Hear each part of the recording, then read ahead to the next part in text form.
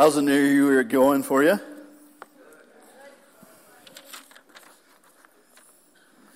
Hey, this last week, uh, I had an opportunity to sit down uh, with a father, and he has a young daughter. And just before we started our, our session together, uh, which we're doing kind of one on one discipling with, uh, he was texting his daughter. And so I asked him uh, what he was texting, and he showed me, and he read it to me. So I asked him if I could read that this morning. So here's a, a father's text to his young daughter Dear love of my life, I promise you that I'm going to work hard to be the best father that I can be this year. Spend time together and cherish every moment with you. I love you to the stars and back, to the stars and the moon. Stop growing up and getting so big. Now, the reason I share that with you today is because God has sent a text to us as well. And I'd like for you to turn to Psalm 139. We're going to be there in just a minute. And we'll have a word of prayer after some introductory remarks. But this particular psalm that we're going to look at I want you to think of it as a text that a loving father would send to his children. And it's a forthright no to everyone who would try to cut life off with abortion on one end, and then try to cut life off with euthanasia on the other end. And my question is do these people think that they're God that can determine when life starts and when life should end. Because this psalm tells me that God has wonderfully and fearfully made me. And I can't even utter a word any place, any time, without his knowing it altogether. Look at verse 4. For there is not a word on my tongue, but behold, O Lord, you know it altogether. In fact, I can't go anywhere without his being there already. Look at verse 8. If I ascend into heaven, you are there. If I make my bed in hell or Hades, you are there. If I take the wings of the morning and dwell in the uttermost parts of the sea, even there your hand shall lead me and your right hand shall hold me. And I can't even be what I am without His already having me made this way in my mother's womb. Look at verse 13. For you formed me, my inward parts. You covered me. You wove me in my mother's womb.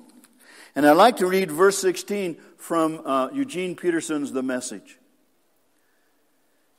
You watched me grow from conception to birth. And all the stages of my life were spread out before you. And the days of my life are prepared before I even lived one day. Before any one of us lived one day, our life was already prepared in the womb. And even before that, in the very beginning of eternity, when God had you in mind when He created you. So God was, and He's still creating. And He's not only creating life, He's creating a life. And He's creating that life from the embryo, from the unborn, unformed body, all the way through all the days of the life that's been ordained for me. So, all of human life is God's handiwork. It's His idea. Not just from birth to death, but from conception to death. And I think if that handiwork of God could somehow cry out to us, it's as if the songwriter found the right words when he wrote this Let me live. Let me live. Let me walk into the sunshine and let me live. Feel my mother's arms around me. Feel my father's love surround me. Be a part of God's creation. Let me live. See, we cannot flee from God's presence. Not only does God pursue us to the ends of the earth, but when we get there, He's already there. Let's bow together.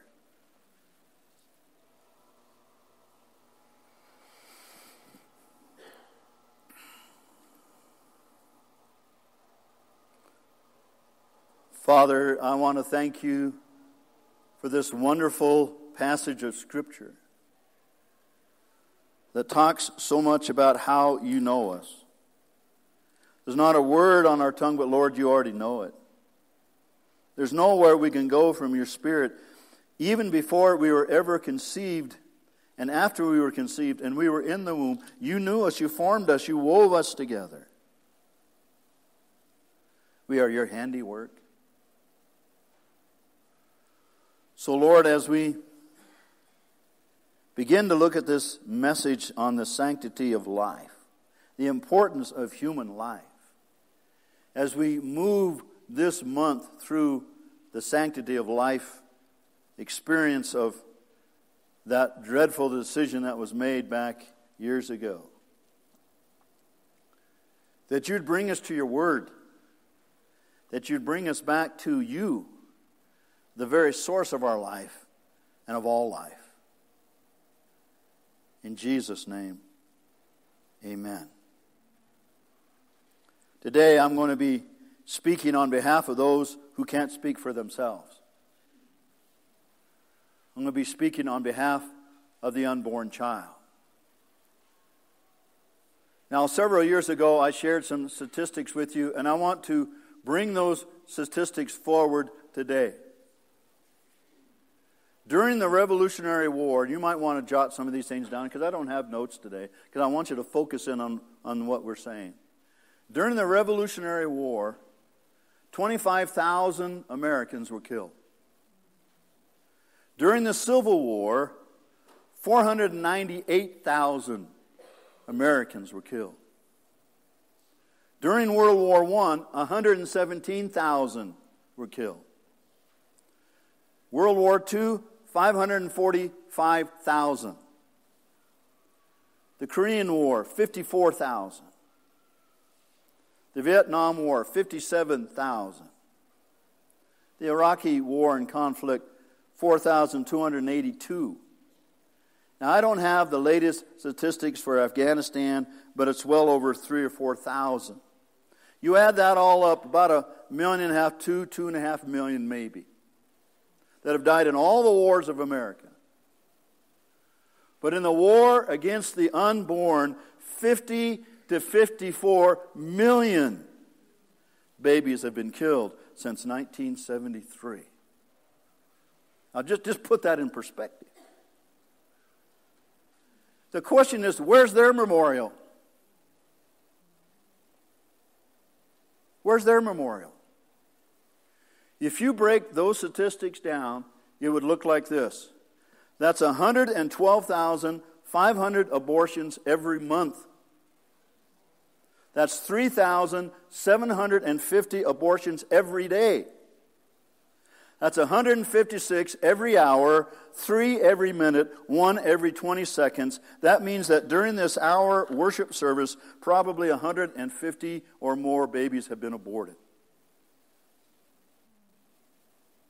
One out of every three babies that are conceived in America is aborted. One out of every three. How could this happen? How could this happen in America? All because on January 22nd, 1973, the United States Supreme Court ruled that every woman has a right to an abortion during the nine months of her pregnancy. You see, the, the judicial branch of government, which is to be a check upon the executive branch in order to interpret the law, has in these last several decades not only interpreted the law, but has generated law and legislated morality. And who are having the abortions? 26% of all abortions are done by those under 19 years of age. Another 33% are done by those between 20 and 24 years of age. That means that all abortions, 60% are committed by those under 24 years of age. 64% of all abortions are done by whites. 36% by all nine whites. Get this statistic 80% of all abortions are done by those that are not married. As Mother Teresa of, of Calcutta has said, to me, the nations with legalized abortions are the poorest nations on earth. The great destroyer of peace today is the crime against the innocent unborn child. In destroying the child, we're destroying love. We're destroying the image of God in the world. Now, in order to justify the killing of innocent unborn children, our society has developed this language and vocabulary of concealment and deception. See, instead of saying the killing of a baby, We've softened it by calling it the termination of a pregnancy. Well, you're not really killing your baby, you're just terminating your pregnancy. We made it impersonal by calling it a procedure rather than a, than a person. This isn't a person. Life hasn't begun yet. This is a procedure, not a person. But Dr. Mary Calderone, she was the former medical director of Planned Parenthood, said it right in the American Journal of Public Health when she said abortion is the taking of a life. Now, this is the former medical director of Planned Parenthood. So the answer lies in Scripture. The answer to these lies and these deceptions are in Scripture you want to turn to Jeremiah 1, verses 4 and 5, I'll simply quote it. Jeremiah 1, 4 and 5. It says this. You might want to jot that down. Before I formed you in your womb, in the womb, I knew you. Before you were born, I set you apart. So even before conception, even before birth, God was forming us and setting us apart early in the womb. Isaiah 49, verses 15 and 16 says this. It's a passage of Scripture, I think, for our day. Can a mother forget her baby and have no compassion on the child that she has born, though she may forget? I will not forget. Do you know why he says that? Because he goes on to say, because every one of us have our names inscribed on the palm of God. Would you just look at your palm for a minute? Just kind of hold it up there. Now, can you imagine that every person who has ever conceived, now I didn't say born, I said conceived, is written on the palm of God's hand? Every one of us. That means that since 1973, somewhere between 50 and 54 million people who was inscribed on the hand and palm of God are dead and have been killed.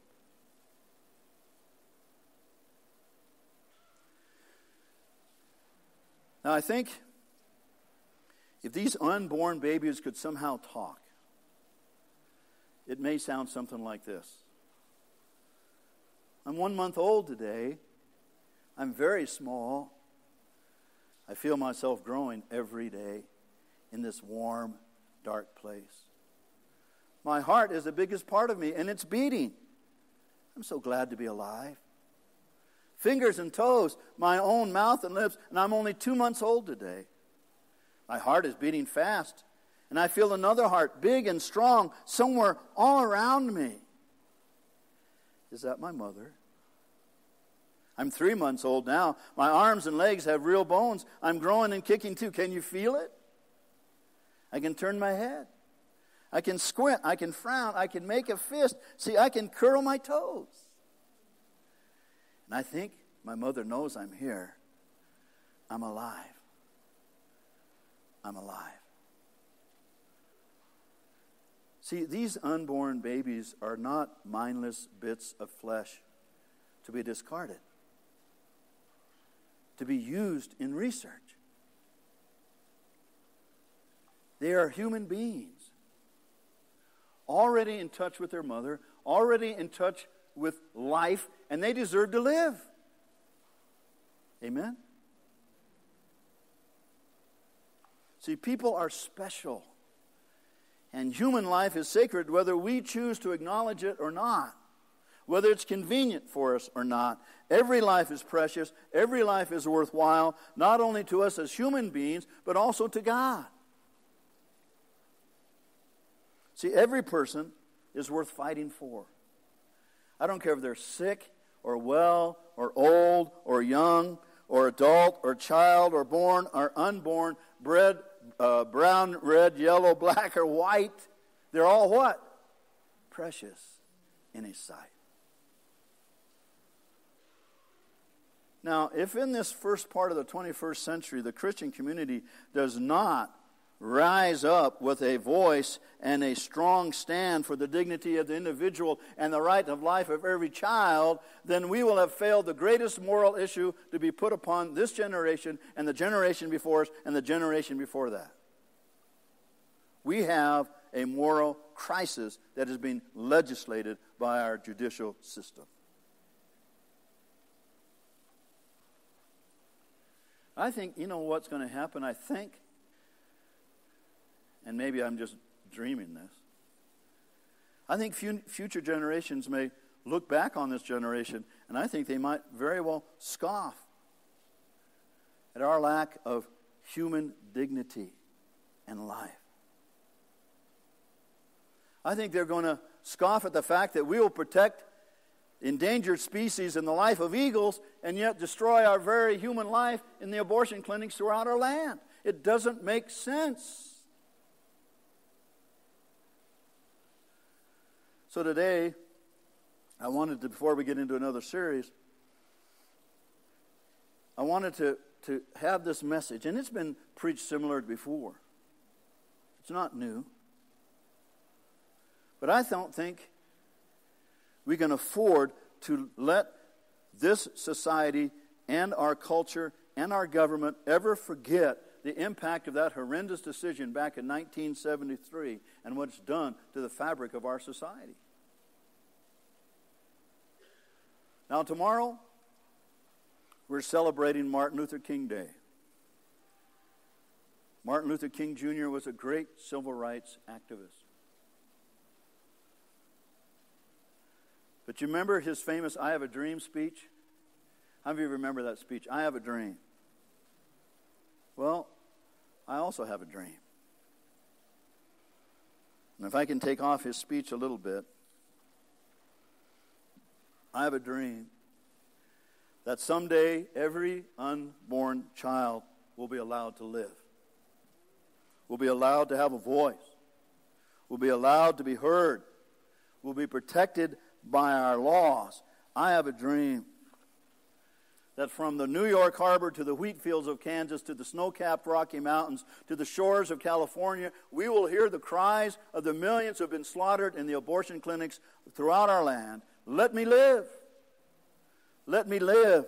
Let me walk into the sunshine. Let me live. Feel my mother's arms around me. Feel my father's arms surround me. Let me be part of God's creation. Let me live. I have a dream.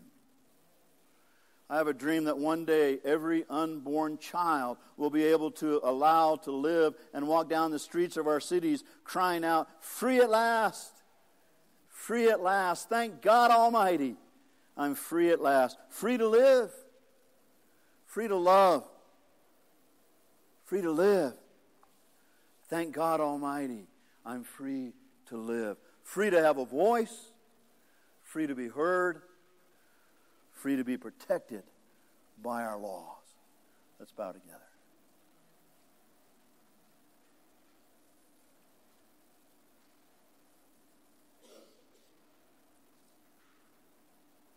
Father, you have a dream of the dignity and the value and the worth of every life. Conception, well, pregnancy, conception, birth are your ideas. Your biological scheme for the human race to procreate and to fill the earth. So, Lord, as Christians, maybe go to your word and not cower from all those who would call us whatever names they want to call us. And simply say, Thus says the Lord.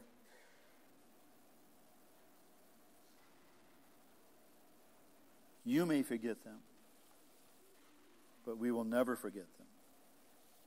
You may not speak for them, but God has spoken and will continue to speak on behalf of these children. So, Lord, this isn't a message that is always easy. But, Father, it's one that from time to time we need to be reminded of. That, Father, we would remember the old paths, wherein is the good way, and walk therein. And that, Lord, you'd give us the ability and the courage to do that. In Jesus' name we pray, amen. You'll see in your bulletin, because you know, whenever you preach a message like this, your, your fear is, well, maybe there's somebody that has had an abortion or have experienced it and are still struggling with that, or, or maybe contemplating it, even today. At the bottom of your bulletin on the page that has our uh, worship service, there's a, an alternative pregnant center message. I want you to be able to read that. And they have a 24 hour helpline. We support Alternatives Pregnancy Center. We, we support what they're doing in their work. And if you have a need, or if you know someone, or you yourself are struggling with that, or a decision that you're about to make or have already made, this is a great organization. And I would encourage you to be able to make a contact with them and be able to get the help either for yourself or your loved one that may be struggling with this issue. There's so many people that want to have children, that are willing to adopt children. There's all kinds of alternatives for us uh, if we want to take uh, advantage of those alternatives. Gentlemen, if you'll come, receive our tithes and offerings.